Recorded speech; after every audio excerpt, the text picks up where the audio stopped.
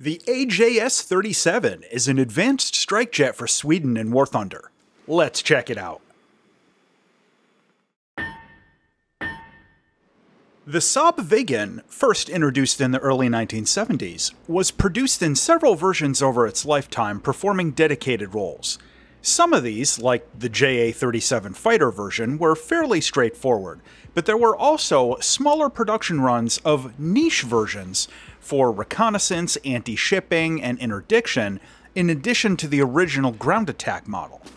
In the early 1990s, a program was funded to upgrade some of these smaller run niche models to a common standard capable of multi-role operations, which resulted in the AJS version. This was an upgrade to existing airframes, these were not newly built aircraft, and it included new electronics along with a more modular payload system and compatibility with a wider range of ordnance, including the AIM 120 AMRAAM, so maybe we'll see that in the game someday. The main idea was that this unified version would allow each plane to be customized to a mission before flying out, instead of needing to pick a different airframe every time. Primary sources differ on the exact count, but at least 40 airframes in total were upgraded to the new standard, and they were finally retired in the mid 2000s. What we get in War Thunder is the AJS-37. This is a strike aircraft in rank 7 of the Swedish tech tree with a battle rating of 11.3. Being a strike jet, the AJS-37 gets a fully featured ballistics computer with all the usual top tier features, but it lacks an EEGS. Its radar is the PS-37A, which is a fairly high-performance radar set, with an all-aspect look-down mode, track-while scan, and an ACM boresight targeting mode. The loadouts on the plane are... difficult. You only get six pylons, and you have to choose between regular ordnance, gun pods, or countermeasure pods. They're all carried externally. The lack of a built-in gun or built-in countermeasures really ends up crippling this plane, but more on that later. Also, the outer pylons can only take your rear aspect infrared missiles. Speaking of which, for air to air missiles, you start off with the RB 24J. This is basically an AIM 9P, a medium performance rear aspect dogfighting missile that you're probably familiar with by now. You upgrade to the RB 74. This is a Swedish version of the AIM 9L, and it's really one of the best dogfighting missiles in the game with 30 Gs of pull, an all aspect seeker, and good tracking. For air to ground missiles, your first is the RB-05A.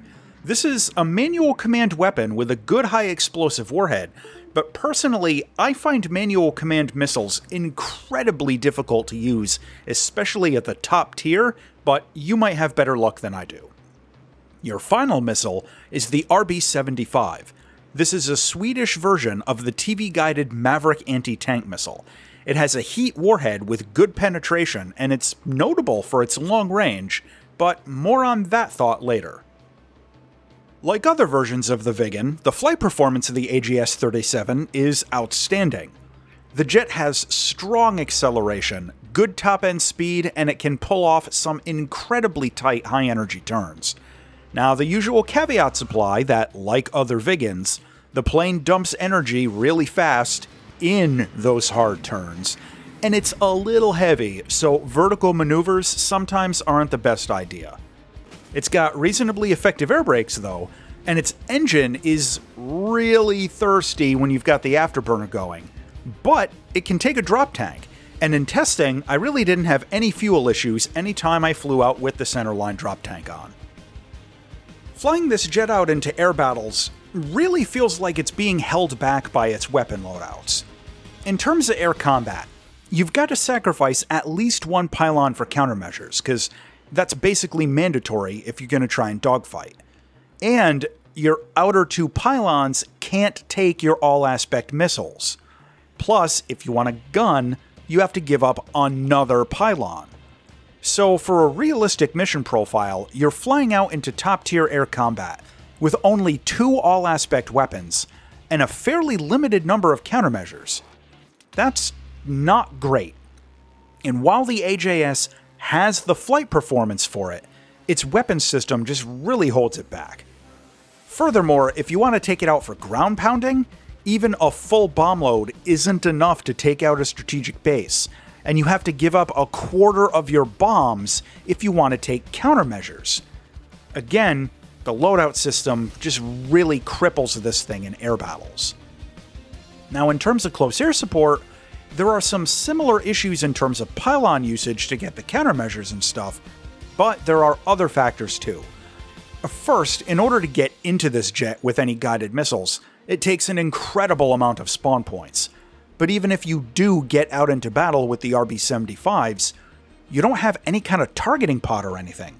So finding things to attack in the anti-air environment over a top-tier ground battle can be really difficult and almost impossible at longer ranges, even though the missiles themselves have a good standoff distance. Now, in testing this jet for this review, I got out above a ground battle with the RB-75s about a dozen times or so, and almost every time I got wasted by the Pantsir before I could even find a target, never mind get a shot off. And when I didn't, the match ended before I could get any kills.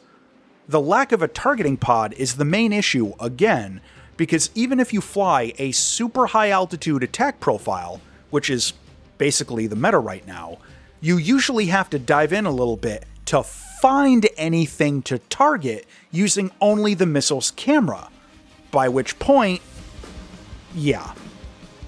Now, flying in and doing low altitude attacks with the rocket pods can work, but as usual, it's very high risk and it depends greatly on using map terrain features for cover, so be careful. Visually, it's another Viggen. It's a pretty decent looking jet, it's got a couple of custom skins, and at least one of them will probably suit your fancy. Landing this thing is identical to other Viggens, no caveats. It's got pretty tough landing gear and a thrust reverser, but no drag chute.